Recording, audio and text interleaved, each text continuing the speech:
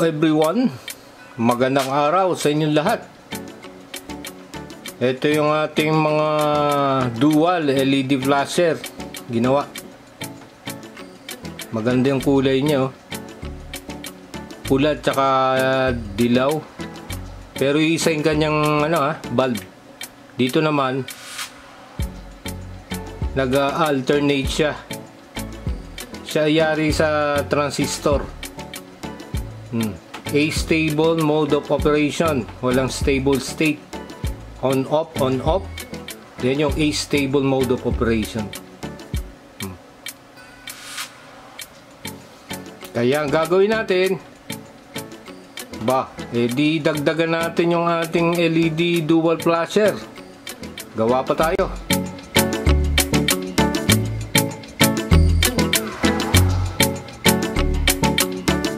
Okay, nandito na ating dual LED flasher, ha?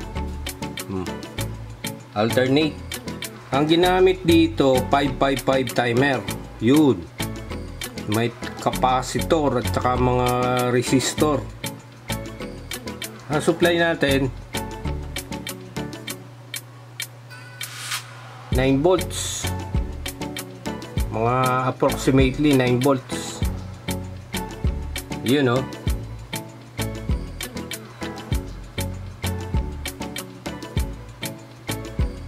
Bakit ba nagbi-blink yan?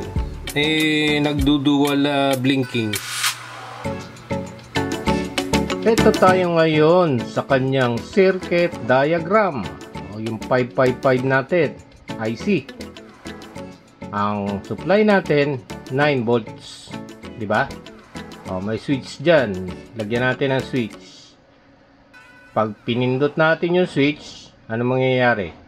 Iilaw ang power LED. Ibig sabihin, bukas na ang circuit. Kaya siya, iilaw, kulay blue. LED yan.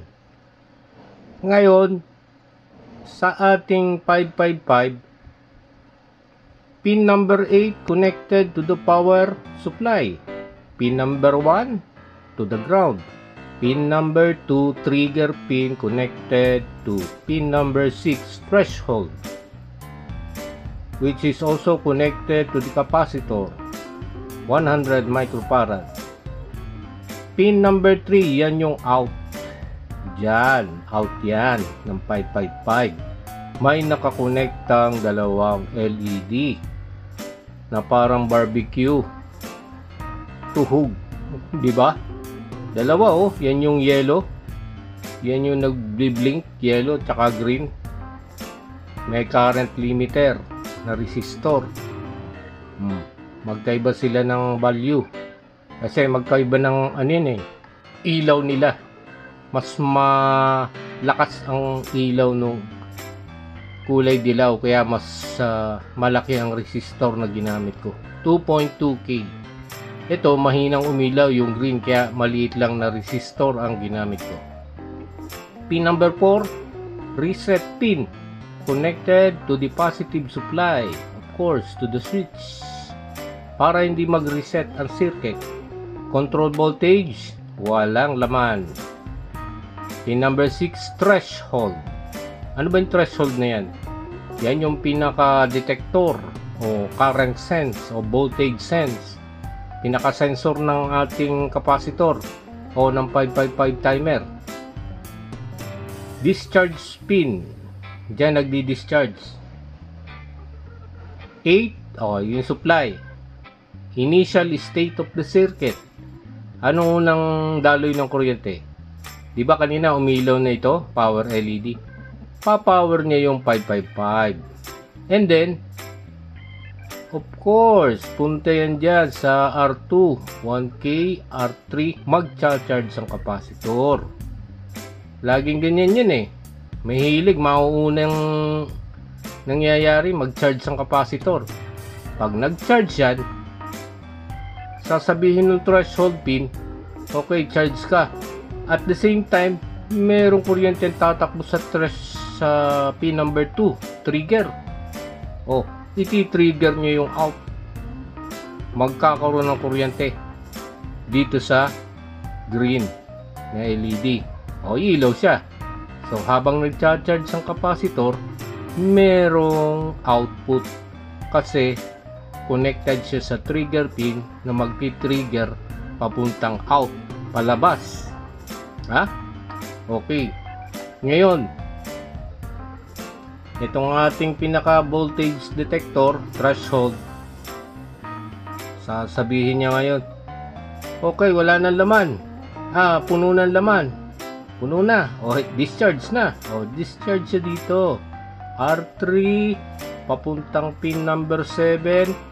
Sana ngayon? Sa ground. Hmm. Meron ding kuryenteng tatakbo sa R2. Itutulak din niya papuntang 7. So, dalawang kuryente yan. R2 at saka sa R3. Magtatagpo dito. Diretso sila doon to the ground. Kung nag-ground dito, ito naman ngayon. Since nakakonekta itong LED nating isa sa positive, ang tendency, na, ang tendency niyan, dumalo yung kuryente dito sa yellow. Ito naman ngayon ang iilaw. Papun papasok ng pin number 3. Then to the ground ng 555. So, ibig sabihin yan, dalawa ang butas ng 555. Pwedeng palabas, pwedeng papasok. Eh, bakit hindi dito tumakbo? Eh, mas maliit ang resistance ng 555, ground ka agad. Kung dito tatakbong kuryente, eh, malaki resistance, 150 ohms, at saka may LED pa. Oh, So, pag nag-discharge ang capacitor, punta dito, discharge the ground. Sasabay na ngayon yung yellow LED, iilaw, papuntang ground. Ito naman, wala naman ngayong ilaw. So, ang nangyayari niyan, pag nag-charge ang capacitor, ang green ang iilaw. Pag nag-discharge, yellow. Kaya siya dual LED flasher dual lang kanyang blinking. Pag ito'y on, yung isa off. Pag isa'y off, isa'y on. Kasi yung kuryente, pag hindi lumabas, pumapasok. Labas, pasok. Labas, pasok. Capacitor naman, charge, discharge. Charge, discharge. Oh, yan ang nangyayari kung bakit siya alternate, parang alternator hindi siya sabay na umiilaw. Pumapasok at lumalabas ang kuryente sa 555 timer.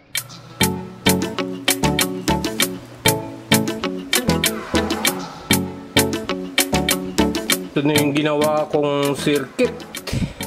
Mukhang marami akong binago dito ah. Ito oh. Ginawa akong parehong dilaw yung ilaw. Tsaka yung resistor pinalitan ko.